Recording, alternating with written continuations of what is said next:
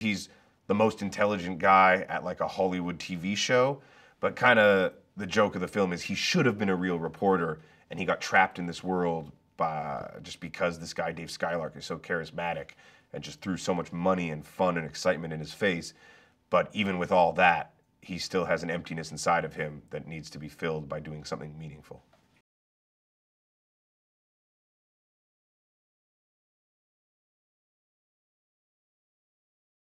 There's almost no girls who are like her in the sense that she's beautiful, she's hilarious, and she's a serious actor. She can do a dramatic role, she can do a comedic role, and you know, teenage boys' jaws will drop to the ground when she steps onto the camera. So she's kind of like the ultimate, you know, all in one.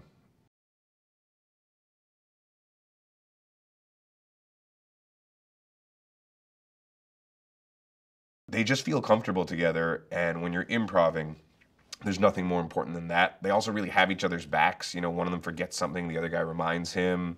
If one of them did something the other guy thought was funny, he'll remind him to do it and tell him why it was funny. And they just have like a, a an inherent trust for one another. You know, like like like like like a trust game you play at summer camp. Like they always catch each other. They never let the other guy fall. And I think in the same sense that me and Seth write really well together because we learned how to write together, they learned how to act together and so they act really well together.